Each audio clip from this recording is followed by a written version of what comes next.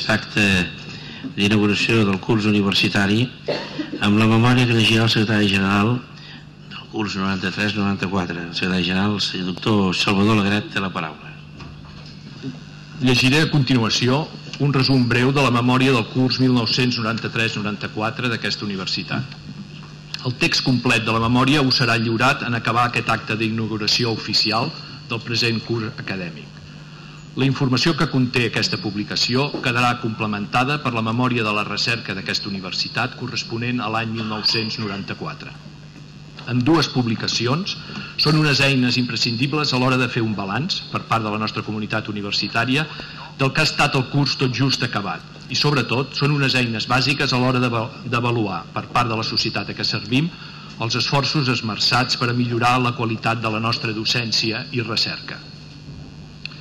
Deixant de banda la transcendència relativa que cal atorgar a un nombre d'anys determinat, la commemoració durant aquest curs transcorregut del 25è aniversari de la nostra universitat ens ha servit per a repassar críticament les activitats efectuades durant aquest període de temps, durant el curs passat hi ha hagut una renovació de l'equip de govern d'aquesta universitat. Això ha comportat alhora canvis en la composició dels altres òrgans de govern, especialment, i tal com és preceptiu, de les comissions delegades de la Junta de Govern, les quals, de cara al present curs, es trobaran completament renovades. La situació econòmica general no ha permès un creixement adequat del pressupost de la universitat, L'exercici de 1994 representa una situació relativa d'estancament que ara és previst solament un creixement aproximat del 3,86% respecte a l'any anterior. Un percentatge semblant ha crescut el nombre de professors durant aquest curs 1993-94. Aquest clima de contenció també s'ha materialitzat en el creixement reduït de la plantilla del personal d'administració i serveis. Malgrat això, la implantació de nous plans d'estudi, al costat dels plans actuals a punts d'extingir i l'inici de noves titulacions han anat tirant endavant segons les previsions fetes. Així mateix, s'ha constatat una tendència ascendent en el finançament rebut per la recerca, ja sigui en forma de projectes de mobilitat dels investigadors o d'increment del personal de suport. Hi ha hagut, però, una estabilització dels ingressos per beques i una davallada significativa en l'adquisició d'infraestructura per a la recerca. El tercer cicle s'ha consolidat amb un augment del nombre d'alumnes, tant de doctorat com de mestratges i de diplomatures de postgrau. El volum de tesis doctorals defensades ha donat testimoni de la recerca creixent que es du a terme als departaments. S'ha fet un esforç continuat per incrementar les relacions internacionals de la nostra comunitat universitària, especialment a través dels programes de mobilitat i cooperació de la Unió Europea, i dels convenis amb institucions governamentals o acadèmiques estrangeres. Una gran varietat d'accions han estat empreses durant el curs transcorregut per tal de mantenir les exigències de qualitat en el servei de la nostra, que la nostra universitat ofereix a la societat, les obres d'infraestructura realitzades, els actes institucionals i de promoció cultural efectuats i sobretot les tasques dut a terme pels diversos serveis que integren la comunitat universitària en són una petita mostra. Professor Jordi Carbonell, professor ordinari de la Universitat de Llistudi de Càller, a Sardenya, i membre de l'Institut d'Estudis Catalans, pronunciar la lliçó magistral sota el títol La llengua catalana a Sardenya.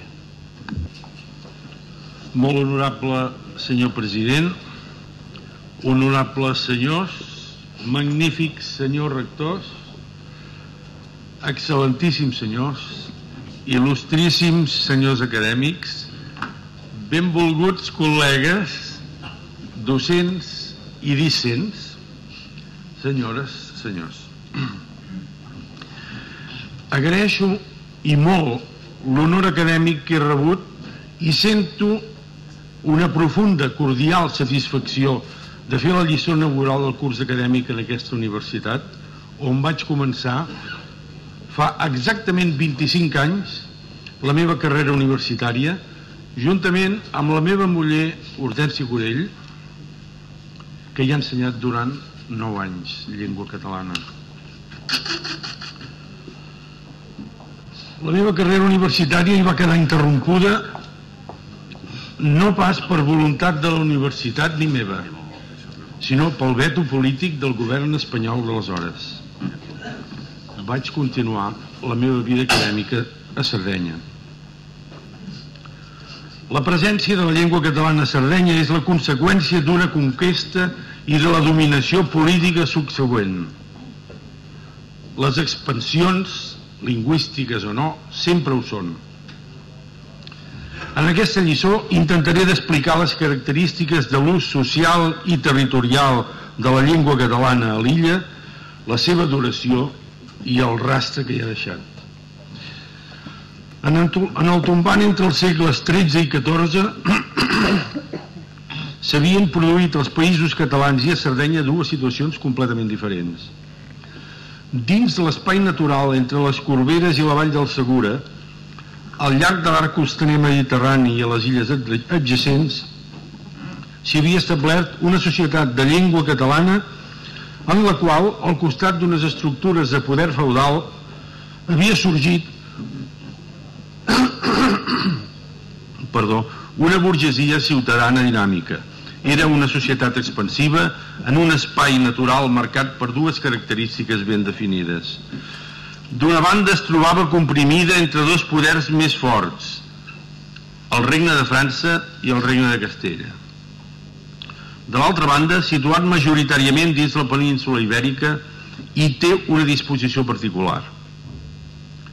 En comentar un llibre de Francesc Cambó, fruit, escrivia aquest, de la meva acció de tants anys encaminada a cercar una solució espanyola de fusiva concòrdia al problema de Catalunya, L'historiador Jiménez Soler escribía en toda censura. El pueblo catalán y el castellano jamás han vivido en contacto. Esta, esta es la causa del desacuerdo y la secesión espiritual, el apartamiento en que están los catalanes de la vida nacional española, apartamiento que es natural por imponerlo a la naturaleza. Cataluña es un territorio encerrado entre montañas y el mar con muy pocos pasos fáciles és un territori adosado a la península, és a dir, afegit pel mas no fundido con ella y cuya inclinación le hace estar vuelto de espaldas a Espanya. L'hispanocentrisme de l'historiador espanyol no li deixa veure que la disposició geogràfica que històricament ha tendit a aïllar-los per terra a l'oest ha obert els catalans al Mediterrani i Europa.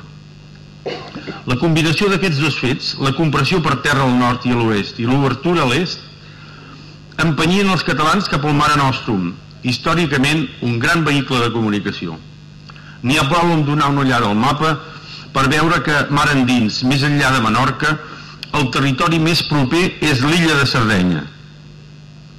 A l'edat mitjana s'hi desenvolupa una societat agropastoral políticament organitzada en judicats autònoms, però tancada i, de fet, controlada per Pisa i per Gènova. Bé que l'expansió catalana del Mediterrani s'inicia a Sicília en temps de Pere el Gran, la pau entre Bonifaci VIII i Jaume II, tractada en Anyi, comportava la cessió de Sicília per part del rei català, el qual, per mitjà de la butlla papal Super Reges et Regna del 1297 rebia com a contrapartida la infaudació a perpetuïtat del Regnum Sardinia et Corsicae, és a dir, el dret sobre uns territoris no unificats i en poder de pisans i genovesos. Els comuns de Pisa i Gènova no cedirien fàcilment llurs conquestes, que els eren molt rendibles. Els reis catalans haurien de conquerir Sardenya per les armes si havien de fer valer els drets que el papa els havia atorgat. En aquesta comesa tindrien inicialment l'ajut dels sars, descontents amb pisans i genovesos, i especialment el dels jutges d'Arborea, que eren de família catalana. L'expedició a Sardenya fou decidida a Girona l'any 1323, 1323 a la cort que Jaume II tingué els catalans, en presència de Sants I de Mallorca, al qual hi prometé la col·laboració l'infant Alfons, el futur Alfons el Benigne, fou posat al davant de l'estol. Les cròniques de Ramon Montaner i Pere Terç en donen un ampli ressò. En citaré dos fragments significatius. El rei Pere ens explica així la sortida del delta de l'Ebre. Partí, doncs, el senyor infant de Port Fangós, primer dia del mes de juny del dit any, 1323, en la coca d'en Bernat i d'en Arnau Ballester, ciutadans de Barcelona, qui havia nom Santa Eulàlia. I el cinquè dia fon el port de Maó, en la illa de Menorca. I aquí vengren en Pere Safont i en Francesc Safont, ciutadans de Mallorca, amb una galera armada, i foren en el viatge amb el dit senyor.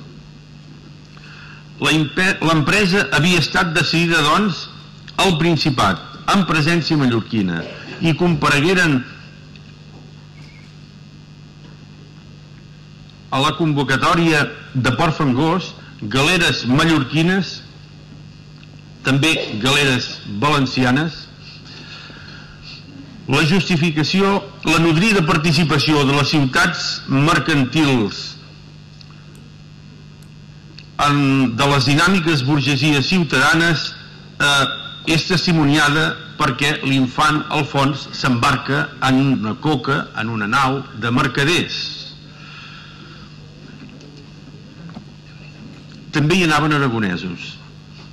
Ara, la llengua transportada a l'illa amb la conquesta fou exclusivament el català. No conec cap document sart en aragonès. És més, l'únic incunable impresa Sardenya que se'ns ha conservat és un llibre en català pagat per un aragonès. Evidentment, si hi hagués hagut un públic aragonès, l'hauria pagat en la seva llengua.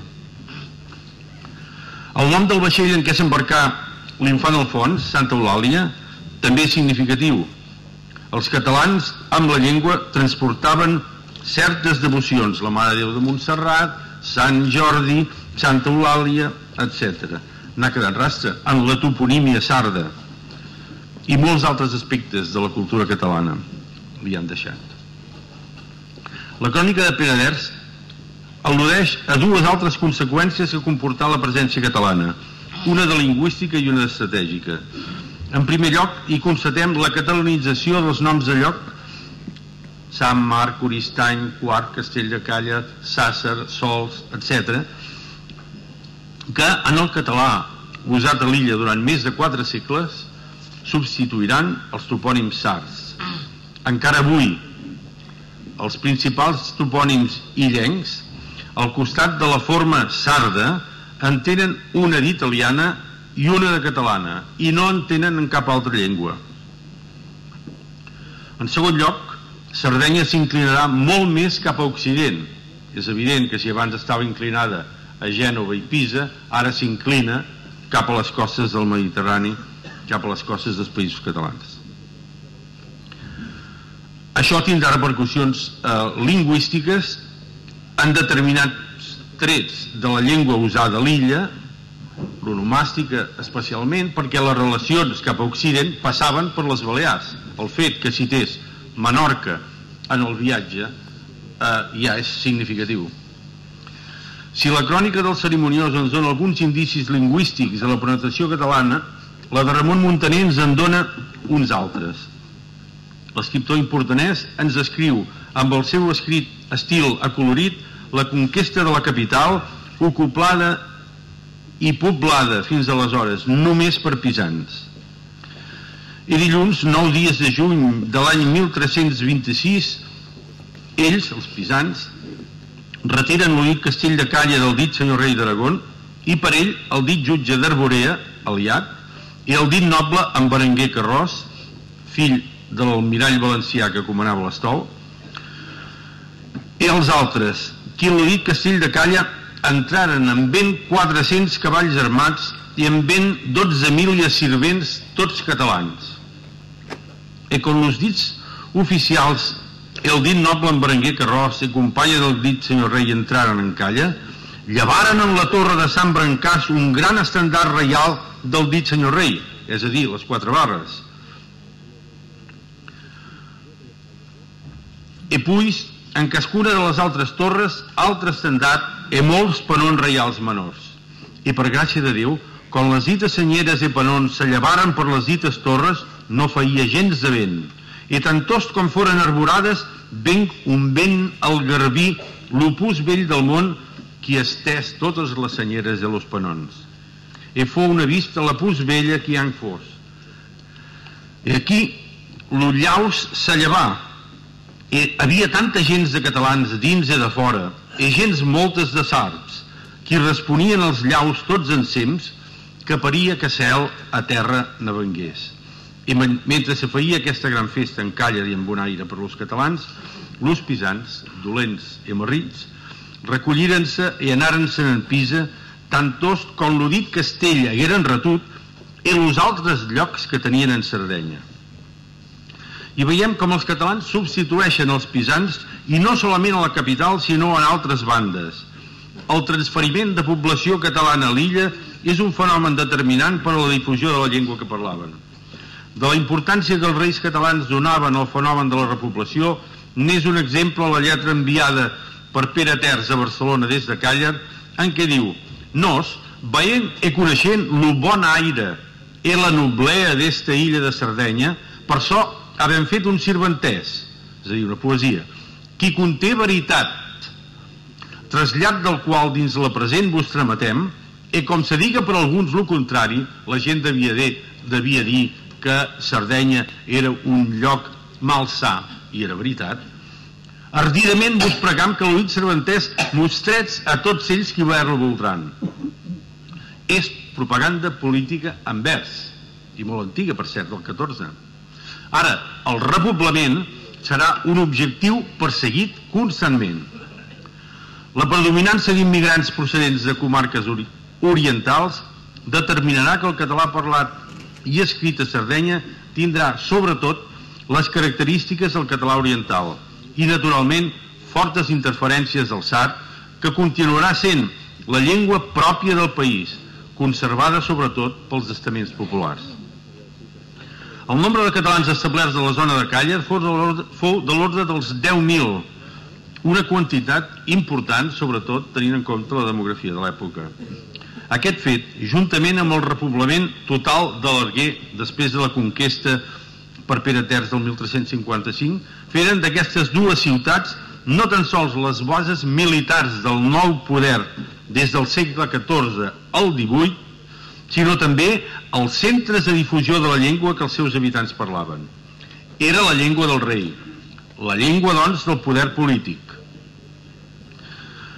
Montaner també fa referència al llaus, he sabut que així eren anomenats els cants populars que a partir del segle XVII seran anomenats goig, un gènere literari de tanta extensió i vitalitat al nostre país.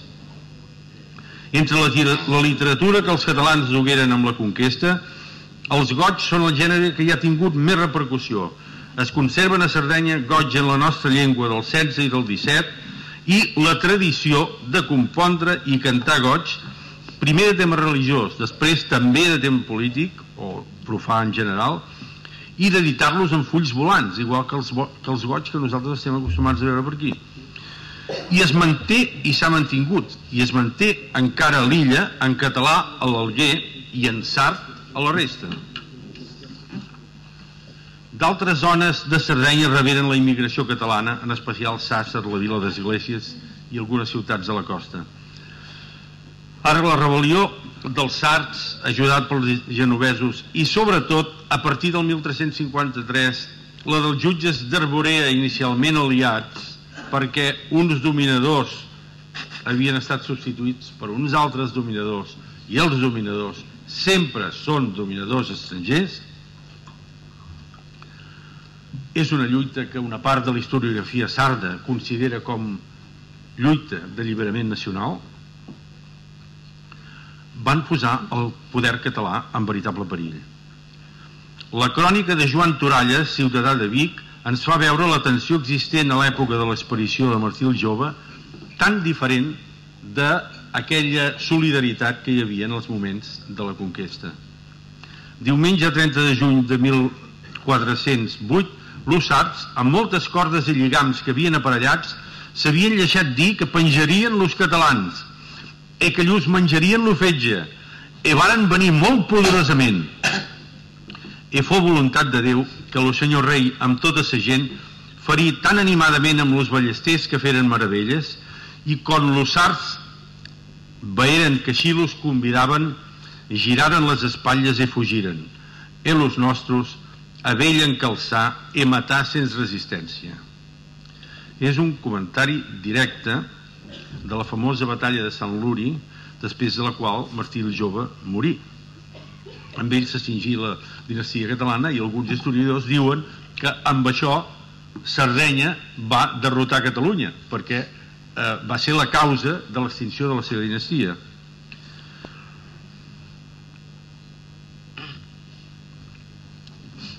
Ni aquesta tensa relació, ni la inestabilitat política i econòmica de la segona meitat del segle XIV i del tombant del segle, tant a Sardenya com a la metròpoli, no facilitaven l'expansió del català a l'illa.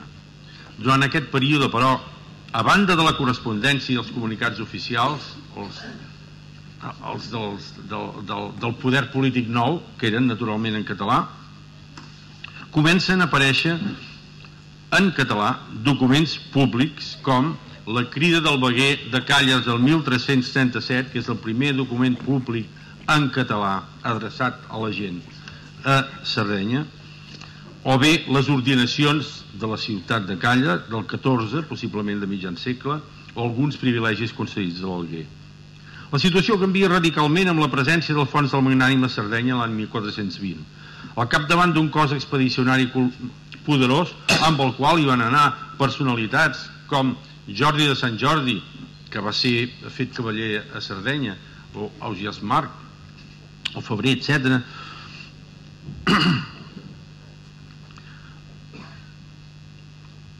obté victòries militars, compra feus i renuncia a Còrsega. Aquesta renúncia a Còrsega era important perquè treia un dels motius d'agressió contrària dels genovesos. Així, els genovesos veien que els havien pres Sardenya, però que no els prendrien Còrsega, i amb això ja s'acontentaven. Ara el regnum Sardinia et Còrsica quedarà limitat al regnum Sardinia. Al mateix temps, s'aplicava una política de benevolència que pacificava els ànims, i el 1421 convocava el segon Parlament de tota l'illa i finalment reixia organitzar el regne seguint la línia marcada pel cerimoniós en el primer Parlament de 1355. Són els primers parlaments generals per a tota l'illa, convocats per un, per un poder estranger, això és cert, però era la primera vegada que Sardenya era unificada modernament. Aleshores comença un llarg període de pau que durarà fins al segle XVIII i Sardenya quedarà incorporada a la Confederació Catalana Aragonesa. Amb la pau prenen volum al segle XV els fenòmens assenyalats al començament, el comerç i la immigració, no solament de quadres dirigents, sinó també de mercaders i d'artesans procedents de tots els països catalans. I també, és clar, l'expansió de la llengua catalana que serà adoptada, o almenys usada, per capes considerables de la població autòctona sobretot però no exclusivament a les ciutats. Es van desenvolupant dues línies paral·leles, en la llengua, en el dret, en la cultura. Una de sarda autòctona i una de catalana o sarda catalanitzada. En la primera es manté l'ús de la llengua sarda com una manifestació oral, en la relació habitual entre els sards, en el dret i en la literatura, sobretot, de tradició popular. Però el sard tindrà també la condició de llengua dominada. Durant els segles XV, XVI i bona part del XVII, el català és la llengua hegemònica de Sardenya, la llengua dels parlaments i de les lleis que n'emanaven, dels senyors feudals i dels privilegis que atorgaven a llurs súbdits, de les corporacions municipals i de les ordinacions que promulgaven com les dels consellers de Càllers del 1422 i següents, recopilades el 1603, o les de Vila d'Esglésies, de les inscripcions d'edificis públics i aquí veiem la penetració dels sards en l'ús del català. Per, eh, cito la inscripció del campanar de Sant Jaume de Vilanova on apareixen cognoms de síndics, és a dir de regidors del, del, de l'Ajuntament tan típicament sards com el, el dels síndics Lleonard Murja, Miquel Atzori, Joanot Manno, Joan de Sí, Bartomeu Baca també és la llengua, naturalment, de les comunicacions entre els funcionaris. D'aquestes darreres no em sé estar de mencionar el report enviat de Càller a Sàcer el 1535. Va encapçalat amb un exordi en llatí. Gaudiat Sardinia, letentur incole iusdem, et posteris in notest cantantum mysterium. El text és en català. L'emperador Don Carlos, rei nostre senyor benaventuradament regnant, és arribat amb grossíssima armada passades 400 veles per anar a expugnar el regne de Tunis divendres a vespre. Arribant la palissada de Calla i dissabte de matí davallant terra i oir missa en la seu de Calla. I estigué dues hores i se tornà a embarcar i diumenge vespre tota l'armada feu vela per a Tunis. L'eufòria del Gaudi et Sardínia d'aquest document no és retòrica. Respon a l'ambient d'angoixa que en aquells moments i en els anys immediatament anteriors patia el món occidental europeu, amb els turcs a les portes de Viena per un cantó i per l'altre els corsaris del, famós, del famós Barbarossa, nomenat el mirall per Solimà el Magnífic, saquejant les costes del Mediterrani. I és l'angoixa que respiraven les instruccions del virei Antoni de Cardona, el governador del cap de Sàcer, el 9 d'agost de l'any anterior, en les quals, després d'informar-lo que el primer del present passaren per l'Ofaro de Messina 80 veles del turc, les quals porta Barbarossa, i afegeix, perquè el que Déu no bulla, si passassen per lo present reina, troben la resistència necessària, vos diem, encarregam i manam, que immediata, vista aquesta, façau percebir tota la gent a vostra jurisdicció sotmesa, fent lis tenir los cavalls, aquest lis és un sardisme, armes i altres preparatius necessaris promptes, avisant així mateix a les ciutats, llocs i terres marítimes que estiguen apercebits fent guàrdies de dia i de nit, i que poblen aquelles i que doblen aquelles si mesté serà. En aquesta situació, l'eufòria del pas de Carles I pren tot el seu relleu veiem passar a través de documents sards en català un moment clau de la història d'Europa. Del 1565 al 1567 residia a Càller el fra menor llec Salvador d'Horta, que després seria santificat, molt després, del 1938. Segons la tradició, feia parlar els muts, en català, naturalment. Això no era un problema no era un problema a Càller, on la gent parlava el català, però era un problema quan ho feia, per exemple, ho va fer a Horta de Sant Joan amb uns bascos que tenien una nena muda i li van portar perquè els la fes parlar, els va fer resar, els va fer genollar i al final la nena es posa a parlar catxos però parlava en català. Aleshores el, els, els pares van protestar i van dir, vosaltres agenolleu-vos, reseu i creieu. I aleshores, quan arribareu al, al vostre país ja veureu com les coses canvien. I quan van passar la frontera del País Basc, la nena es va posar a parlar en basc. Aquest sant encara avui té una devoció, però una devoció important a Sardenya. A Càller ensenyar llatí partint de les explicacions en català l'humanista del coll Andreu Pere, llogat especialment per la ciutat. Al costat d'aquests usos oficials o públics hi trobem els privats, com la correspondència o els documents notarials tan importants en la vida social. De la primera hi ha textos publicats, per exemple, de l'important humanista callarès Montserrat Rosselló, els homes es deia Montserrat, les dones es deia Montserrada, que llegà la seva considerable biblioteca a la Universitat de Calla, amb el fons Rosselló i d'altres, la quantitat d'inconables edicions antigues i també manuscrits en català conservats a Sardenya és un altre exponent de les estretes relacions culturals entre catalans i sards. Doncs bé, el 1608 Rosselló enviava una lletra a l'escrivà d'un dels seus feus, la vila de Museu, a l'interior de l'illa, sobre els problemes que tenia amb uns massaios. Massaios, a mi em va produir una gran complicació perquè no sortia cap diccionari, és la paraula sarda per pagesos i és un sardisme sistemàtic en el català de l'època, a Sardenya. I afegia, procurau que se nos envien 7 o 800 cebes i molts melons, síndries, carabasses i cogombres. Encara no havien arribat els pepinos. I també enviareu peres, anguiles, trusses, i, que també és un sardisme, i formatge bo, que el que haveu enviat era prou mal. I en una prostat escrivia encara, me fareu ple de fer caçar una rebossa, és a dir, una guineu, que sia molt grassa, perquè tinc menester de l'oli d'aquella per fer-me una medicina. No vos descuideu en cosa que tant es guarda a la mia salut i traumateu-me-la súbito. Ignoro com va anar amb aquests remeis la salut de l'il·lustre humanista. Un fet a part, amb una amplitud social i territorial molt considerable, és considerat és constituït per l'ús del català als documents notarials. Documentat des del segle XV, es manté al llarg dels segles fins a entrat el XVIII. Pel Tractat d'Utrecht del 1716, Sardenya havia estat atribuïda a l'imperi dels Habsburg austríacs, que el 1720 la canviarien per Sicília amb els ducs de Savoia. Aleshores aquests ducs passaven a ser reis de Sardenya, com els comtes de Barcelona havien passat a ser reis d'Aragó. És a dir, al mateix moment que els països catalans eren incorporats a la corona de Castella, Sardenya cessava de tenir la relació política que havia començat amb la butlla de 1297. Al regne sard, el procés de castellarització havia estat paral·lel al del domini lingüístic català. En determinats estrats de la societat molt propers al poder reial s'havia iniciat al segle XVI, sense afectar la base social i l'ús administratiu generalitzat.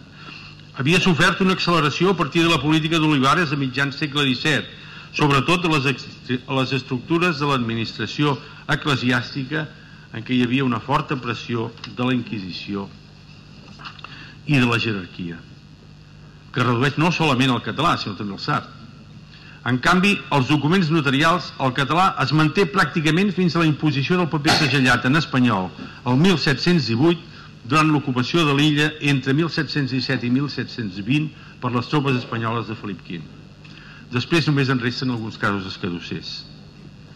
Així el notari de Calla, Salvador Gegaluni i Porcella, el 3 de maig de 1727, pensant que, com tots los nats en aquesta vall de llàgrimes, si am, si am totalment a la mort corporal sujets i digú d'aquelles que papuga, tement les graves enfermetats que corren i jo sempre he patit, pobre veu que era més aviat malaltís, i desitjant estar percebit per lo que Nostre Senyor voldrà ordenar de mi, fas i ordena lo present meu testament, i n'ha dit encara avui. El dicta el seu confessor, Joan Serra, perquè no el pot escriure amb la seva mà que li tremola. Aleshores, ell i el seu confessor escrivien, parlaven en català i eren capaços d'escriure en català un testament.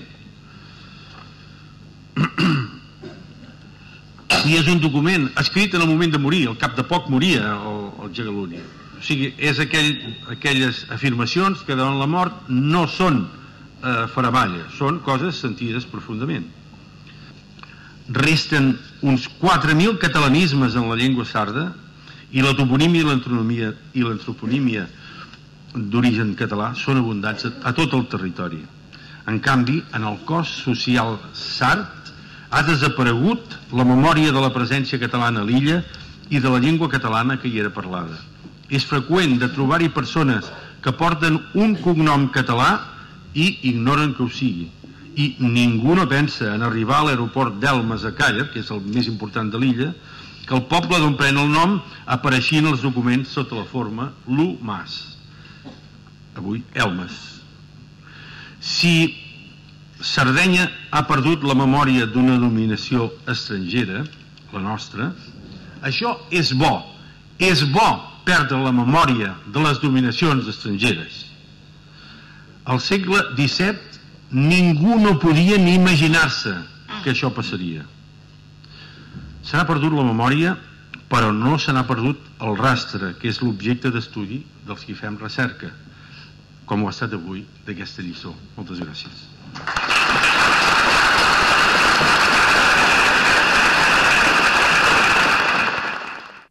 Bé, ara, com saben, hi haurà un concert de música del segle XVII a càrrec de Jordi Savall. I la música ha estat considerada de moltes maneres diferents. Antigament era una medicina, després va ser una ciència i ha acabat sent un art, un divertiment i moltes altres coses. La música és, però, en el fons, un llenguatge. Un llenguatge efímer perquè la música només existeix en el moment que unes ondes sonores fetes per la veu humana, un instrument, la propaguen.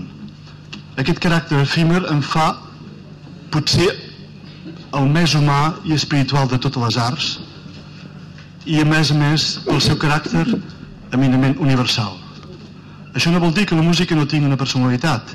Cada poble ha fet la seva música, però malgrat això aquesta música parla a tots els pobles del món. Jo voldria dir això per recordar que la nostra música no és solament la música d'avui, sinó la música de tots els segles que altres homes han creat i han creat unes obres per expressar unes emocions, per expressar algo quelcom de molt important per la vida humana. Aquests segles, que són quasi mil anys, són segles que els tenim una mica oblidats per aquest mateix caràcter de, de efeminitat de la música. Això vol dir que tota música ha de ser contemporània per existir. La música de l'època dels trobadors, la música medieval, la música del Renaixement, necessiten músics d'avui perquè es pugui escoltar. Una església romànica, una pintura medieval existeix per ella mateixa. En canvi, les músiques d'aquell temps necessitaran dels músics d'avui per conèixer-les i per sentir-les. Això és una mica la reflexió que volia fer i volia recordar que tenim un patrimoni molt important però que la riquesa cultural d'un poble no és solament la importància d'aquest patrimoni sinó la seva capacitat d'avaluar-lo. Interpretaré, interpretaré unes obres d'un compositor anglès que van estar executades durant els contes d'hivern de Shakespeare a l'any 1605 Thank you.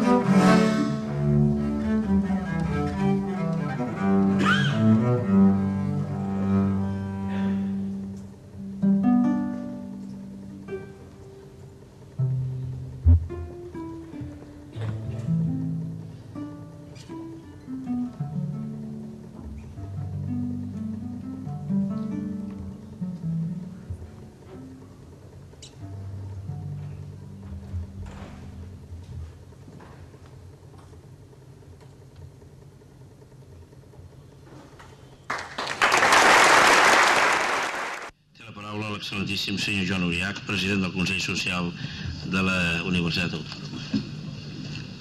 Molt honorable president de la Generalitat, representant de l'honorable comissionat d'Universitats i Recerca, excel·lentíssim i magnífic rector de la Universitat Autònoma de Barcelona, rectors i presidents del Consell Social de les Universitats Catalanes, autoritats, senyores i senyors i amics tots. Per alguns dels que tenim responsabilitats sobre el desenvolupament de la vida universitària, l'acte oficial d'inauguració d'un nou curs acadèmic ens permet fer un balanç d'actuacions passades i o un abans de projectes immediats. S'aprofita així, i crec de manera oportuna, la possibilitat de comunicar, d'explicar i fins i tot de compartir amb tota la comunitat universitària els criteris mitjançant els quals es regeix aquesta institució. Però en el cas concret dels Consells Socials, penso que aquesta ocasió excepcional ha de tenir un enfocament diferent. Per la seva pròpia raó de ser, als Consells Socials els pertoca un paper de reflexió global, de definició de grans línies, de preocupació pel mig i llarg termini. Un paper que va més enllà i que és més important que el de l'estricta ratificació d'acords o el control d'activitat diària, tot i ser conscients a la vegada de la necessitat de complir acuradament i d'acord amb el mandat legal d'aquestes últimes funcions.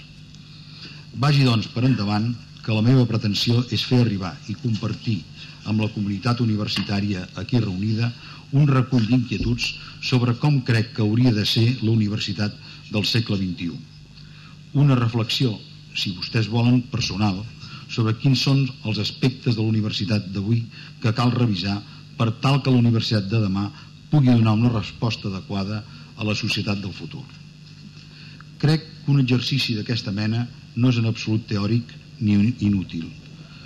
La institució universitària és decisiva en quant a la configuració del caràcter d'una societat i el fet que evolucioni en un sentit o un altre condiciona, m'atreviria a dir, que de manera irreversible el com seran en el futur les noves generacions, és a dir, l'element humà del nostre país. Tanmateix, la universitat és una institució lenta, on els resultats de qualsevol nou enfoc requereixen llargs terminis per fer-se evident i, en conseqüència, una institució que necessita plantejar-se amb temps suficient els canvis d'una estratègia. A mi, particularment, aquesta reflexió de futur em porta a recuperar els trets que bàsicament varen definir la universitat en el passat. El seu sentit universal, de punt de creació i de difusió de coneixements. Són elements d'una modernitat acalparadora.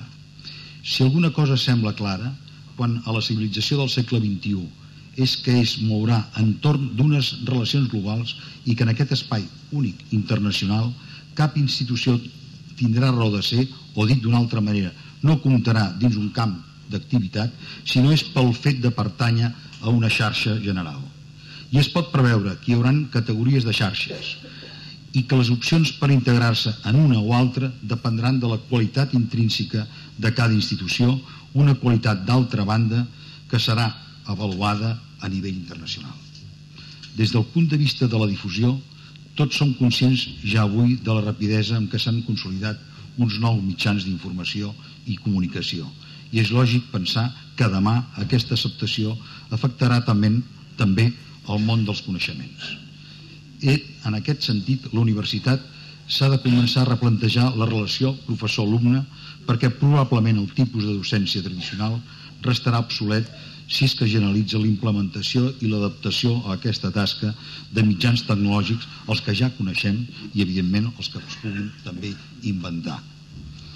En aquest marc, que, que recupera els conceptes tradicionals d'universalitat i de difusió a la universitat, li caldrà superar qualsevol tentació localista i conservant en cada cas les, les peculiaritats que la diferencien fer un esforç també de mentalització per veure's a si mateixa com una part d'un conjunt superior. El tercer element històric que abans esmentava és el de la creació de coneixements.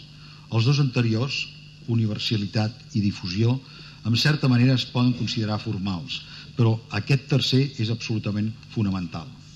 Aplicat a la tradició universitària, l'element creació de coneixements és un concepte que inclou tant la descoberta de nous avanços científics com l'elaboració de les bases filosòfiques per les que es regeix en cada moment la societat.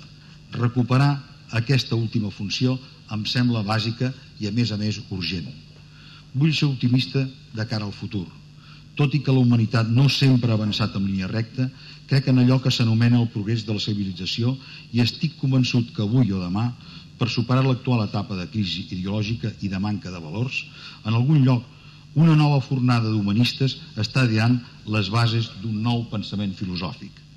I si periòdicament s'han de redefinir de nou les escales de valors, a fi de continuar avançant per una societat més justa, les noves generacions han de ser educades en l'utilització de la cultura i de la solidaritat com armes supremes de poder superar les desigualtats i els desequilibris. Perquè la cultura proporciona mitjans per una vida digna i la solidaritat és l'instrument que pot fer possible la necessària difusió d'aquesta cultura. Aquestes són reflexions a llarg termini, generals, sobre les que a mi em sembla que hauria de ser la Universitat del Nou Segle. Però afegiré ara un comentari relatiu a un punt molt concret de l'actual funcionament universitari que pot condicionar la futura evolució evolució d'aquesta institució en la línia que almenys a criteri meu seria la desitjable. Ben segur que molts de vostès estaran pensant que vull parlar del finançament. Doncs bé, no és aquesta la qüestió. Tot i que la considera un altre dels punts claus pel desenvolupament futur de la universitat, penso que sortosament el finançament, aquest és un debat que ja està sobre la taula i que per tant confio que s'anirà resolvent de manera positiva. M'agradaria atraure l'atenció dels aquí reunits sobre la dicotomia dels diferents serveis que es demanen a la universitat i el contrasentit de gestionar de la mateixa forma productes diferents que la societat, el mercat en un sentit econòmic també, valora de diferent manera. Tenim carreres de cicle curt i de cicle llarg, amb graus d'experimentalitat diferents. Tenim cursos de doctorat i mestratges. Tenim especialitats amb molta demanda i altres amb molt poca. Unes forçades pels requeriments del desenvolupament econòmic i industrial, altres per la necessitat de mantenir determinats estudis. S'ha de fer recerca bàsica, però també s'ha de fer recerca aplicada. S'han de promoure convenis amb empreses i transferir tecnologia a la societat. És a dir, en funció de la finalitat que, que pretenen, una part dels productes oferts per la universitat són realment serveis públics pel bé comú, però altres són serveis que podrien considerar-se d'interès privat. No poso en qüestió la seva utilitat, però em pregunto, activitats tan diverses s'han de gestionar de la mateixa manera? I parlo de la gestió en el seu concepte més ampli. Parlo de forma d'accés, de taxes, de remuneracions, d'organització e inclús de màrqueting. No tinc la resposta ideal ni una solució màgica, però considero que aquesta problemàtica existeix i que és la causa de moltes de les disfuncionalitats que ja avui entorpeixen el bon funcionament i l'agilitat d'aquesta universitat alhora que limiten també el grau d'eficiència en l'administració d'uns recursos que per definició sempre seran escassos. En el marc que abans dibuixava d'internacionalitat, de qualitat, sobretot, i de diversitat de serveis, probablement ens caldrà adaptar la nostra institució de formes de gestió ja provades en altres àmbits capaces d'adaptar-se millor a aquesta realitat universitària. Per resumir, l'exposició d'aquestes reflexions i per acabar, jo diria que la Universitat del Futur haurà de recuperar la filosofia dels seus orígens, però actualitzant-la també amb les formes. Cal recuperar el concepte d'universitas universitatis, entès en el seu sentit ampli, de divers i obert, i aplicar-lo a la creació i difusió de coneixements, però també utilitzant fórmules imaginatives al funcionament intern de la pròpia institució. Tot el que he dit fins ara respon a un interès i preocupació personal per aconseguir potenciar el paper de les universitats. Tanmateix, puc assegurar també que tots els membres dels Consells Socials de les set universitats públiques catalanes hi podrien afegir nous i millors punts de vista als criteris que fins ara he exposat i comparteixen també igualment aquest interès i aquesta preocupació pel futur de la nostra universitat. Res més, moltes gràcies per la seva atenció, junt amb el testimoni de l'agrament que ben segur compartim vers el molt honorable president de la Generalitat, que amb la seva presència sempre corregidora ha volgut donar relleu a aquesta inauguració fent sens dubte ressò de les nostres inquietuds. Moltes gràcies a tothom. Res més. Té la paraula l'excel·lentíssim i magnífic senyor Carles Solà, rector de la Universitat Autònoma de Barcelona.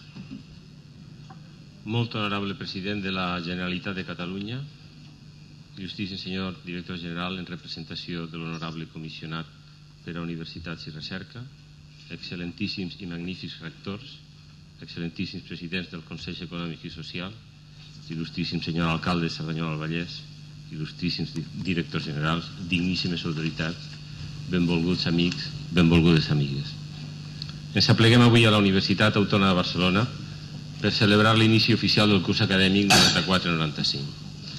El fet que aquest primer curs que començo com a rector hagi coincidit en què és la nostra universitat on s'inaugura el curs de les universitats catalanes és per a mi una gran satisfacció que només es veu atenuada per l'absència del doctor Laporte tan estimat en aquesta casa i aquí desitjo una ràpida recuperació del petit incident que l'allunya de nosaltres en, en el dia d'avui. Efectivament, l'inici de curs és una de les ocasions rituals que la universitat aprofita per a fer una reflexió sobre la seva activitat, analitzar la situació, intentar de preveure el futur més immediat formular plans d'acció per a desenvolupar al llarg acadèmic, del curs acadèmic que tot just comença i que, de fet, ja ha començat amb molts centres universitaris. Hem tingut ja l'ocasió d'escoltar la lliçó inaugural del professor Jordi Carbonell, que fou expulsat com a professor d'aquesta universitat per la dictadura, i aquí hem d'agrair la fidelitat i el treball pel nostre país, i en especial per la nostra llengua. Les seues paraules han d'ajudar-nos a recordar que l'àmbit geogràfic de la cultura catalana no respecta els límits arbitràriament imposats. Hem d'agrair també a en Jordi Savall l'emoció que ens ha sapigut transmetre amb la seva música. Pel que fa a la Catalunya administrativa, el sistema universitari ha experimentat una expansió notable, passant de 3 a 8 universitats i amb la incorporació encara en marxa de la Universitat Oberta de Catalunya, amb l'accés d'una gran quantitat de joves a una universitat que no estava preparada per a suportar un creixement ràpid i que no tenia recursos per atendre'l degudament. A més, les modificacions de les condicions del mercat de treball han fet minvar les expectatives que donava l'obtenció d'un títol universitari i han afavorit entre els estudiants la competència i la preocupació exclusiva per obtenir-ne el màxim rendiment. Aquest conjunt de millores indiscutibles ha fet que es comenci a notar un augment de la confiança dels diversos sectors socials en la universitat. Alhora, han anat a la baixa una sèrie de valors propis de la vida universitària, valors que caldrà recuperar si volem que la universitat sigui, a més d'un centre acadèmic i de producció científica d'alt nivell, un lloc de formació crítica, d'estudi i de discussió, en definitiva, un centre de creació de cultura. Hem de creure que la universitat ha d'ensenyar més coses que les, estricta, que les estrictament relacionades amb cada carrera, com per exemple la manifestació pacífica de l'opinió, i que ha de fer d'avantguarda crítica i cultural de la societat en la qual està establerta. A les societats modernes, el sistema d'ensenyament superior i, per tant, les universitats ha esdevingut un dels sectors clau, tractant de satisfer la demanda massiva de formació acadèmica. En definitiva, representa una de les condicions essencials de l'existència material i individual d'aquestes societats. En efecte, d'una banda, les universitats preparen per al món del treball, en conjunt, l'economia, la política, la ciència, dintre i fora de les institucions d'ensenyament superior, i d'altra, la investigació fonamental en la major part de les disciplines es du a terme al si de la universitat. La universitat és, doncs, l'etapa prèvia de tota recerca fonamental que pugui donar lloc a aplicacions i dels desenvolupaments sobre els productes o sobre l'organització de les societats modernes que influeixen, que influeixen la indústria, l'administració, l'economia o la gestió dels poders públics. Per tal de dur a terme aquest seguit de tasques que hom espera de la universitat, hem de convenir que les nostres universitats es troben davant d'una sèrie de dificultats que convé repassar. L'estructuració del professorat i el sistema de selecció establerts per la Llei de Reforma Universitària, la LRU, consolidaren un espírit funcionarial que dificulta qualsevol canvi. La situació actual no permet que les universitats puguin disposar de professorat propi contractat ni que tingui la flexibilitat suficient per a disposar del personal adequat a les seves necessitats d'investigació i de docència. Com veurem més endavant, la situació encara pot empitjorar. El procés de selecció dels estudiants és una aplicació d'un mecanisme basat en uns criteris previstos per a l'orientació dels estudiants i utilitzats ara davant la insuficient oferta de places. La reforma dels plans d'estudi, també marcada d'autonomia i de recursos, que ha estat freqüentment una lluita d'interessos per a mantenir posicions prèvies o conquerir-ne de noves, en comptes d'un intent seriós de racionalització. L'aplicació dels nous plans d'estudi ha generat un increment preocupat de la taxa de fracàs, especialment greu al primer curs, que ens ha d'obligar a prendre tan aviat com sigui, com sigui possible mesures correctores. En general, ha produït una atomització de les disciplines que, especialment al primer cicle, té també conseqüències negatives per a l'aprenentatge. Els nostres estudiants es troben també davant d'un sistema discriminatori de distribució de beques en l'àmbit estatal que cal també corregir urgentment. La universitat ha de fer front a la demanda creixent de formació superior, que compensa la disminució del nombre de joves i també ha de satisfer les noves demandes en el camp de la formació continuada. Finalment, el projecte de llei de modificació de la LRU en la seva redacció actual, representa encara més un atac frontal contra l'autonomia universitària i, per tant, perdre les universitats en la selecció del seu professorat a una intervenció pràcticament simbòlica. Aquestes i moltes altres qüestions han estat i són objecte de discussió al si del Consell Interuniversitari de Catalunya, però també a la reunió dels rectors de les universitats públiques de Catalunya que es venen tenint regularment, la primera de les quals és recent es va tenir, va tenir lloc en aquesta universitat el mes de maig passat. En el decurs d'aquestes reunions s'ha posat de manifest la voluntat dels rectors de treballar en el marc definit, per de, en el marc definit de l'espai universitari català, posant en comú problemes i vies d'acció. Crec sincerament que l'opinió unànime dels rectors, dels presidents del Consell Econòmic i Social i del mateix Consell Interuniversitari davant del projecte de rei de llei suara esmentat ha estat decisiva a l'hora de determinar el posicionament del govern català. D'altra banda, davant de la tendència apuntada en el projecte de llei, el Consell Interuniversitari demana a la Generalitat que exercís les seves competències legislatives en aquells apartats no orgànics de la LRU. Els primers documents coneguts responen, segons el meu parer, a una concepció de la universitat com a institució adulta i responsable i assenyalen, doncs, un camí molt prometedor, on també s'obre una àmplia via contractual per al professorat. Pel que fa al finançament, s'han de treballar diversos aspectes.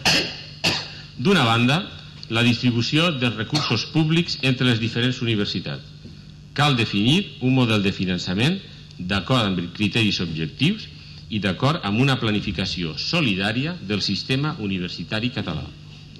I d'altra, la qüestió de la participació de les diverses fonts de finançament, fons públics i privats, participació dels estudiants mitjançant el pagament de les taxes. Aquesta discussió no pot oblidar que el finançament públic de la universitat a Catalunya és encara lluny de la mitjana de la Unió Europea i fins i tot per sota de la mitjana estatal, que la política de distribució de beques ens és clarament perjudicial i també que la despesa que representa la universitat hauria de considerar-se clarament una inversió prioritària i de futur. En estreta relació amb això, cal definir un pla plurianual d'inversions la planificació és el mitjà idoni per assolir els objectius que una institució té com a propis. La planificació és l'únic instrument de gestió que ens porta als objectius fixats lliures de contaminacions de la conjuntura, que tant poden perjudicar les institucions de caràcter estratègic i concretament la universitat. Sabem dels esforços que fa en aquest sentit el govern, així que només vull que insistir en la necessitat de la seva de definició el més aviat possible. Alhora que la Universitat Catalana demana aquest increment en els recursos disponibles per tal de millorar la qualitat del servei que dona a la societat, cal també que aprofundim en els mecanismes de control de la tasca que duem a terme. La societat ha de conèixer que és precisament la mateixa universitat la que desenvolupa mecanismes d'anàlisi crítica de la seva funció, en un exercici responsable per tal d'assegurar a la societat que els recursos que hi destina siguin degudament aprofitats. Així, la millora en la qualitat de l'activitat universitària és l'objectiu central dels equips de govern. Diversos programes en funcionament tracten d'incrementar la qualitat de la docència i de la investigació. Amb dues activitats són indestriables a la universitat, de forma que cal deixar ben clar que sense una recerca de qualitat no es pot parlar d'una universitat de qualitat qualsevol desviació en un o altre sentit seria greument perjudicial. Ja hem dit que la inversió en ensenyament superior és ben inferior a la mitjana europea. Doncs bé, la situació pel que fa a la investigació és encara pitjor. La mitjana estatal no arriba ni a la meitat de la dels països amb els quals hem de competir i de vell nou, i com a conseqüència del caràcter centralista de l'Estat, la mitjana catalana encara és inferior. La creació del Pla Català de Recerca és així una acció estratègica capdalt que és rebuda per la comunitat universitària amb gran esperança i que cal veure créixer substancialment en recursos. Una nació com la nostra, mancada de recursos naturals, depèn molt fonamentalment del domini del coneixement. Encara més en un panorama on, en general, el coneixement jugarà un rol central. L'establiment d'una societat del coneixement és una de les claus de la societat europea. Si no volem esdevenir un país subaltern de les decisions preses d'uns de nosaltres, hem de ser capaços de crear aquest coneixement, primer bàsic, després orientat, que permeti una consolidació de les estructures productores de riquesa. El compromís de les universitats catalanes amb el seu país és ben explícit. Tinc la convicció personal que una acció prioritària en l'augment dels recursos materials i humans destinats a la investigació és una de les escasses oportunitats de garantir la pervivència de la nostra comunitat nacional. A tall d'exemple, heu pensat el que podria significar tenir 5.000 investigadors més, també professors, per al desenvolupament de Catalunya treballant durant 10 anys, com a mínim. No crec que un augment així d'altres tipus de treballadors o funcionaris tingués el mateix efecte cas de tenir-ne cap. Els últims anys han significat també la incorporació de les universitats catalanes al marc europeu. La participació dels nostres universitaris als diversos programes de recerca o de mobilitat ha estat molt important des del primer moment. No és cap casualitat que les dues primeres universitats de l'estat espanyol al programa Erasmus, la primera en xifres absolutes i la primera en xifres relatives, siguin dues universitats catalanes, ni que el professor Josep Maria Bricall hagi estat escollit per unanimitat president de la Conferència de Rectors Europeus. Aquests èxits, en un marc terriblement competitiu, són una mostra de l'interès i qualitat de les nostres institucions. Hi ha tanmateix un greu problema.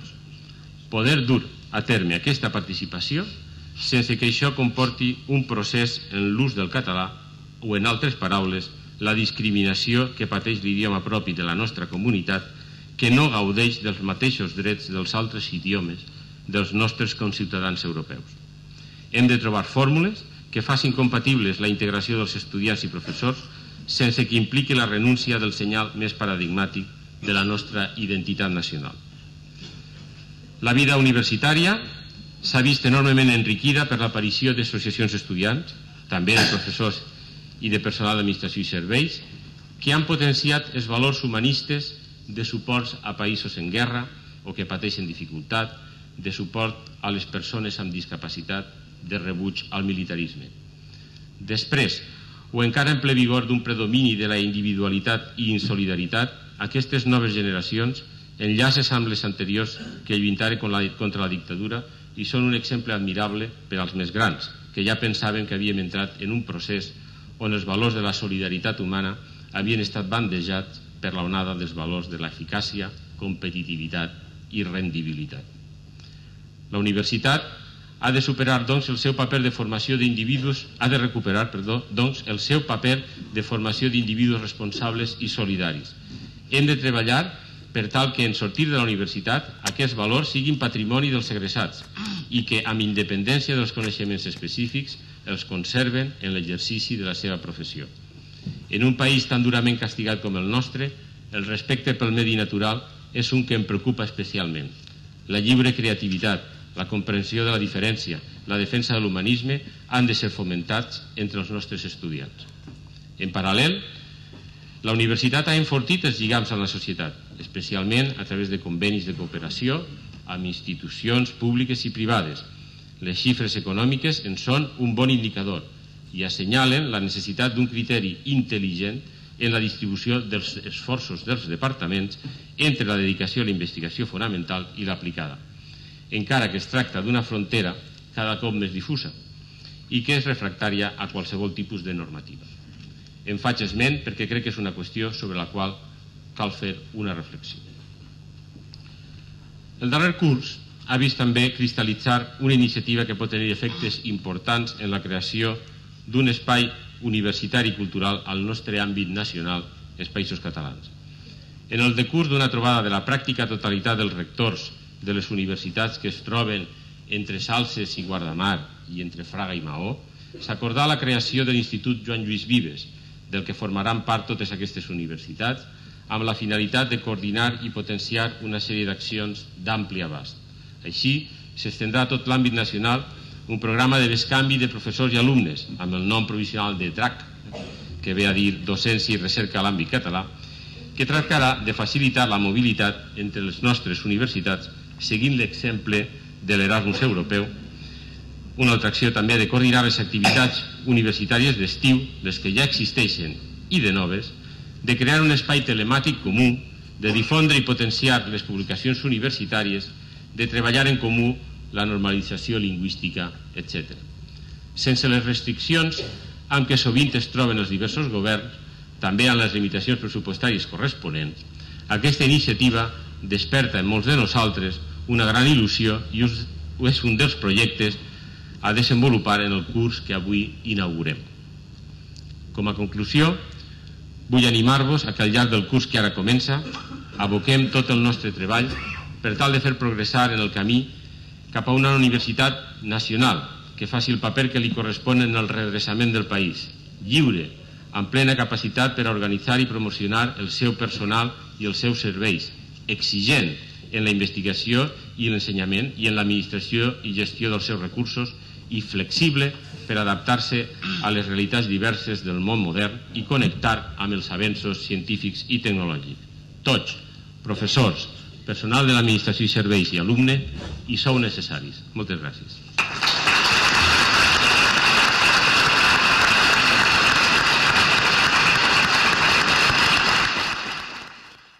Excelentíssim i magnífic senyor rector de la Universitat Autònoma de Barcelona, excel·lentíssims i magnífics senyors rectors de totes les universitats de Catalunya, excelentíssims presidents dels Consells Socials de les universitats, senyores, senyors, és una obvietat dir el que diem sempre, però ho diem sempre perquè així és, que la universitat juga un paper absolutament essencial en qualsevol societat.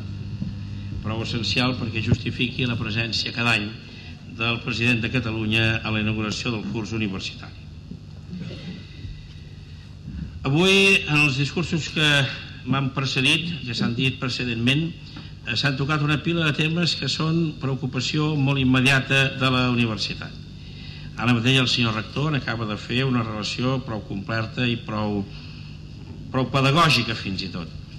Jo em complau poder dir, em complau poder dir que crec que en línies generals si no tots, almenys la majoria dels temes que han estat plantejats són objecte de discussió, d'estudi i de i a més el servei d'aquest estudi una voluntat de, de trobar-hi solucions. Des de eh, el tema de la llei de reforma universitària aquest és un punt el qual la Generalitat evidentment directament no hi pot actuar però sí que pot actuar indirectament i crec que responem bé el que són les preocupacions que se'ns han expressat des de les universitats catalanes, fins al tema de les beques, que també és en aquests moments objecte de negociació.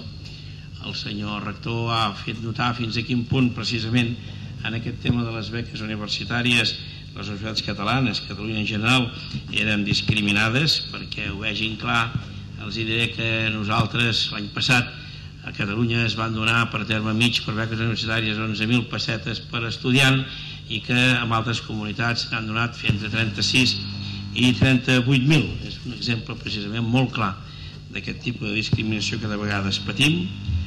També absolutament d'acord amb el tema que ha dit de la necessitat de rediscutir, per dir-ho així, replantejar alguns temes relacionats amb el finançament, tant pel que fa al finançament de la despesa ordinària com el finançament de les inversions Comentàvem ara, venint cap aquí, precisament amb el director general, amb el senyor Pla, amb el professor Pla, que eh, ens cal introduir un finançament que no sigui, com ha estat fins ara, el que en diuen incrementalista, sinó un finançament que faci prevaler més els objectius i que prioritzi els programes de millora de, de, de millora de la qualitat universitària.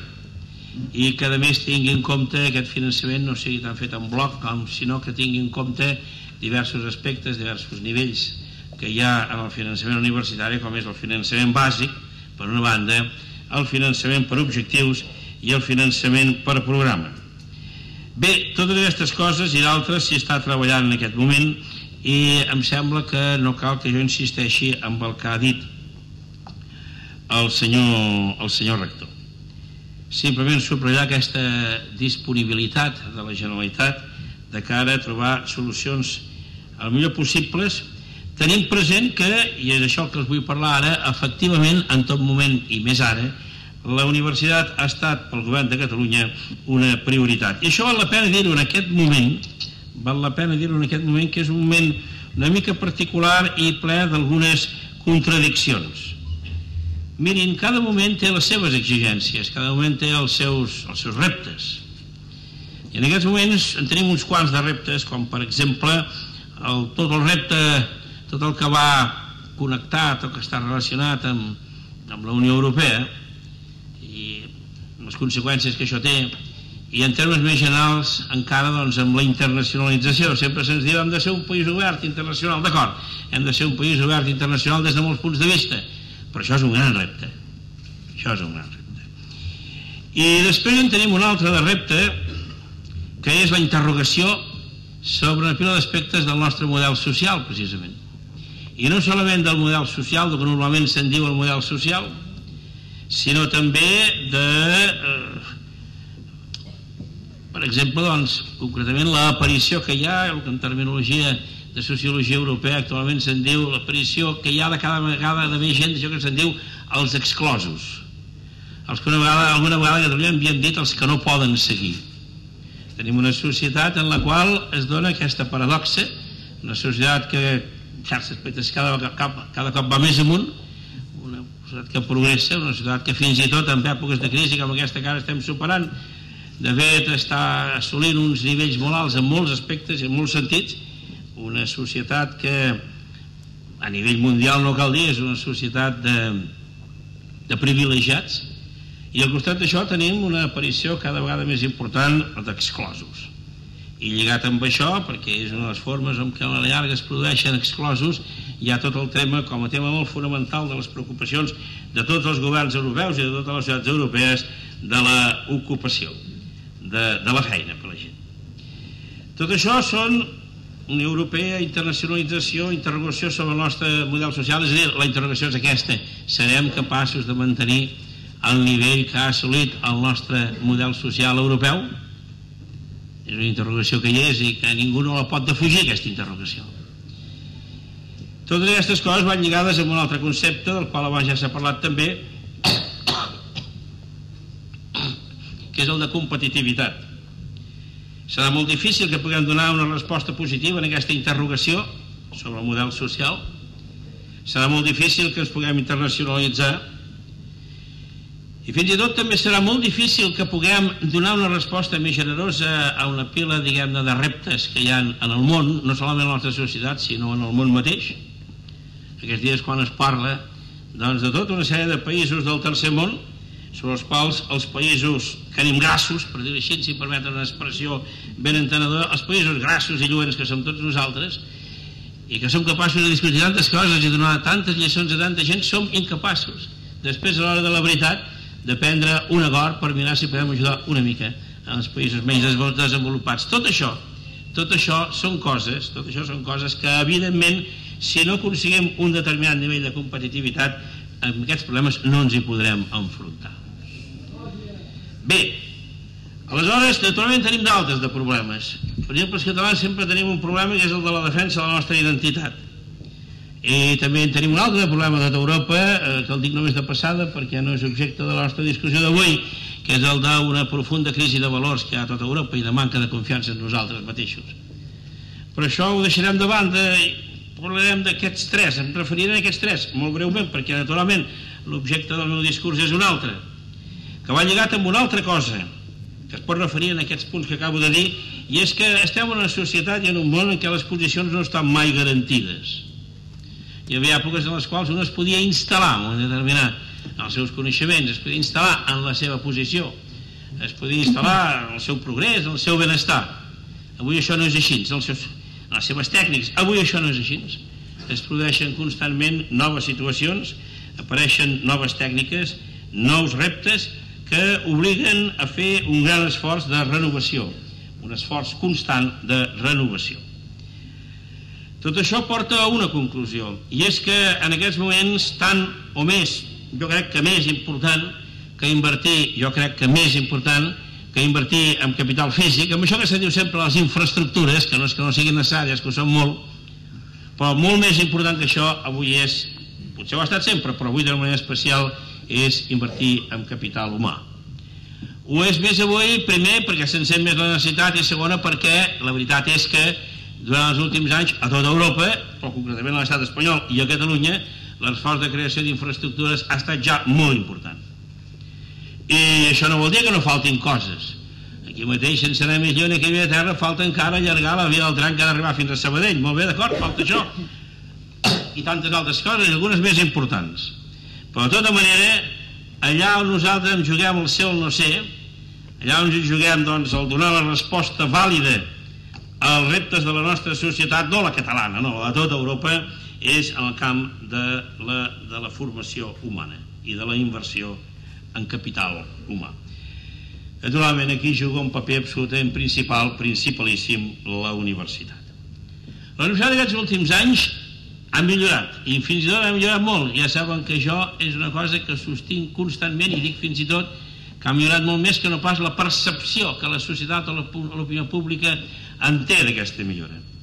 I ha millorat per una primera cosa molt important, que poso primer no pas per afalagar-lo, sinó perquè és així, per l'esforç i per la disciplina i pel rigor i per la il·lusió dels universitaris, de tot el món universitari. I en segon lloc ha millorat, evidentment, perquè els serveis públics, l'administració pública, els governs i concretament el govern de la Generalitat hi han prestat una atenció gran. Negar qualsevol d'aquests dos fets seria, em sembla mi, anticientífic, seria negar la realitat, seria negar els fets. Una altra cosa és que després ens trobem en què encara, evidentment, i això és cert, encara falta molt per fer. Però en tot cas subratllem aquesta prioritat del capital humà que, entre altres, comporta la prioritat de la universitat. Subratllem en aquest moment perquè ens trobem amb una situació una mica contradictòria. Per una banda, tot sembla indicar que aquesta situació de crisi que hem estat passant aquests últims temps s'està superant. Això sembla clar.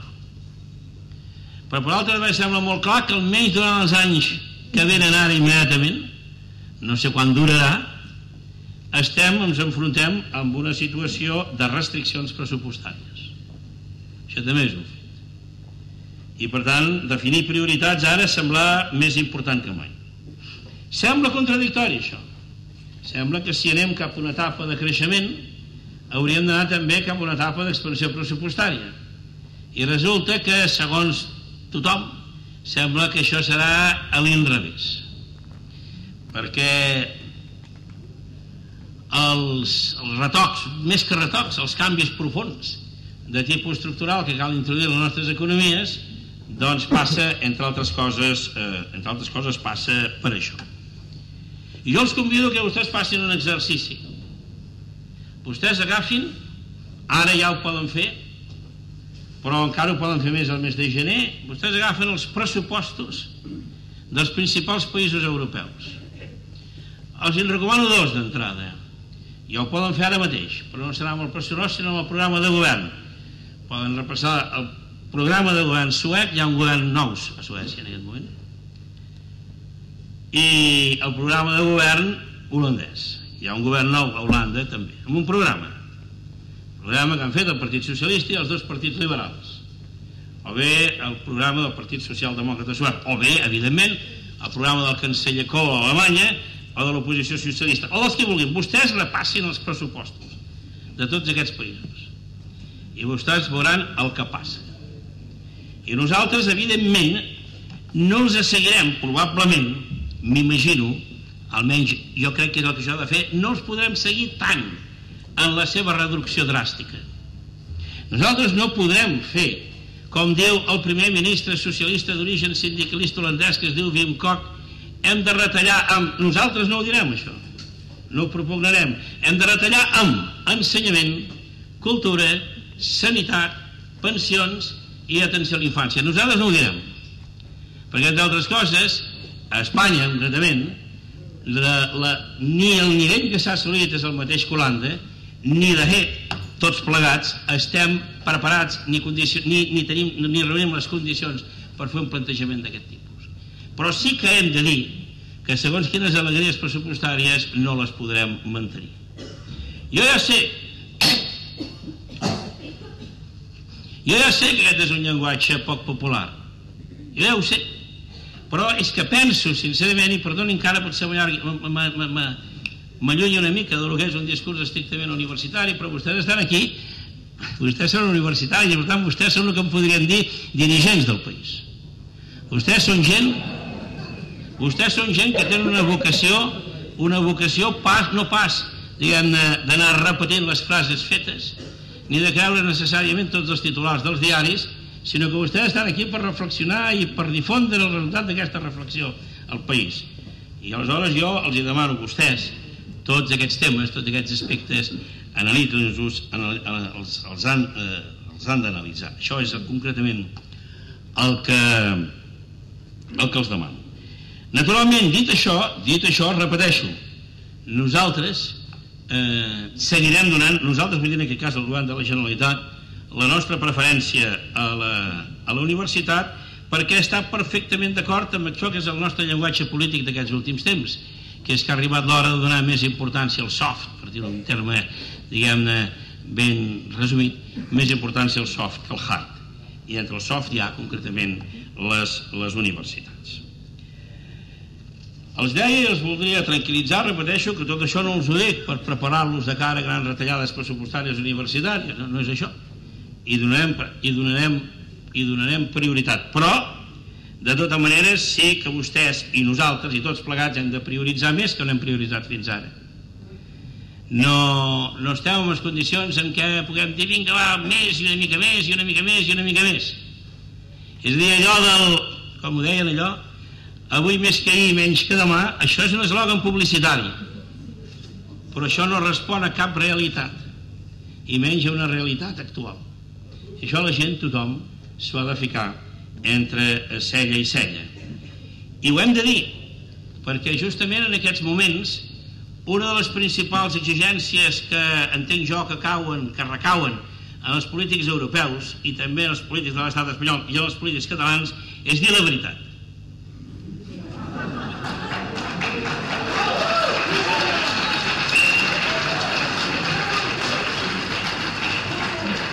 És la veritat. I la veritat és això que els estic dient. La veritat és això que els estic dient. Sobre la qual es podran, evidentment, doncs, trobar camins per anar una mica més enllà, una mica més ençà. Però la veritat és el que els estic dient i això és la primera obligació que tenim nosaltres, els polítics. Encara hi ha algunes contradiccions més amb això, no?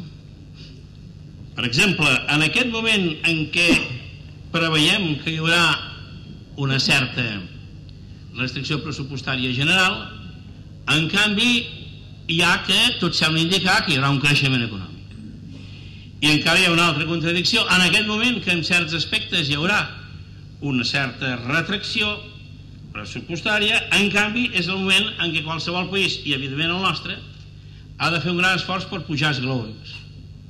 Ara és un moment per pujar els globus. Ara és un moment per anar, per anar amunt. Jo penso que una de les coses que ens hem de plantejar, eh, que s'ha de plantejar a la universitat, encara que potser algunes inversions en el futur es facin una mica més a poc a poc, a poc que no pensàvem fer-les fa 3 o 4 anys, per exemple, que això passarà. No a la universitat, a tot arreu passarà que hi haurà inversions que es faran una mica més a poc a poc. Això passarà a tot arreu.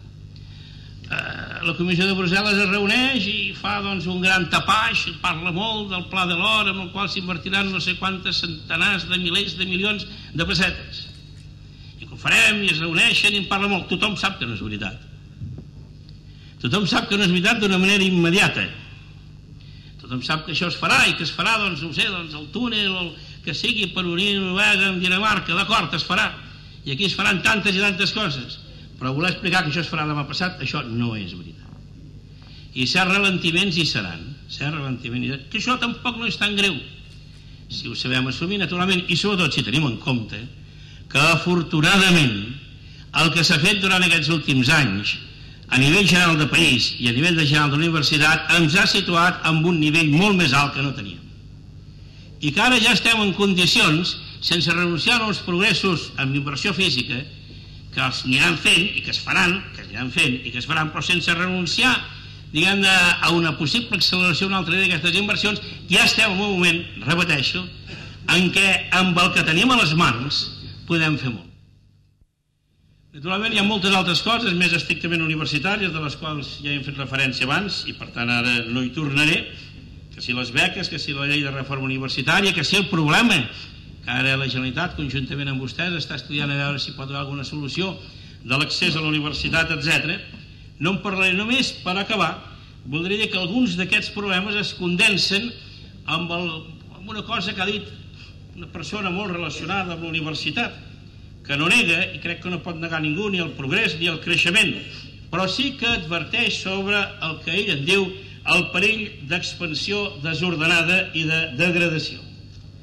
En fet, no sé si això és cert o no, en tot cas és una inquietud expressada des de medis universitaris, jo els hi transmeto, vostès hi pensaran.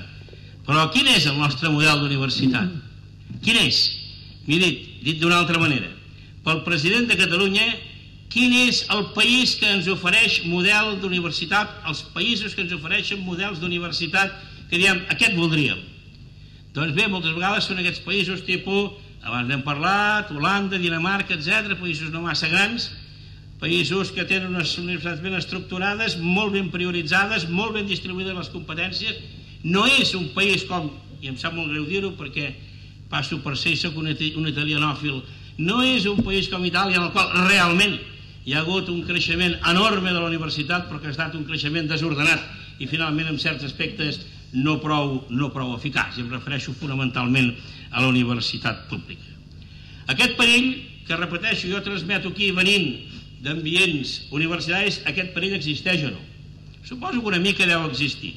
En tot cas l'hem d'analitzar conjuntament. Vostès des de la seva autonomia, que nosaltres voldríem veure sempre reforçada i si alguna intervenció fem Ara amb el temps de la llei de reforma universitària és precisament per salvaguardar l'autonomia universitària. Nosaltres, evidentment, des del pressupost, però també des de, conjuntament, en la definició de les prioritats. Ara, precisament perquè se li demanarà tant a la universitat i perquè els recursos són menys il·limitats que altres vegades, aquesta prioritat és absolutament necessària. Senyores, senyors, santíssims i magnífics senyors rectors, he volgut parlar-los d'una forma, forma, potser, repeteixo, una mica fora del que és normalment el programa d'un discurs així, de que a una institució sòlida i prestigiosa com és la universitat, el govern de Catalunya i el poble de Catalunya els hi demana molt. En el terreny dels coneixements, de la formació, però també en el terreny de l'autoritat moral que la universitat té per dir segons quines coses i de l'exemple que pot donar al conjunt del país. I demana molt també per això que dèiem abans, perquè sempre ha estat així, però ara és més que mai, és l'hora de la inversió en capital, en capital humà. És a dir, és l'hora en què hem de dir amb tota rotunditat que no anirem endavant si no posem l'accent, si no posem l'accent en la formació, en la gestió i en la innovació. No hi anirem com a nació, no hi anirem com a nació, no hi anirem com a Catalunya. No hi anirem com a economia, i recularem en tot. No hi anirem com a model social i conquestes que ara tenim, les perdrem. No anirem a la nostra capacitat d'evitar que hi hagi un percentatge molt alt d'exclosos dintre de la nostra societat, de gent que no pot seguir. No hi anirem com a país capaç d'obrir-se i d'expandir-se d'una manera eficaç i generosa. No hi anirem si no fem aquest gran esforç ara i en aquest gran esforç, òbviament, més que mai, la universitat hi juga un paper absolutament decisiu.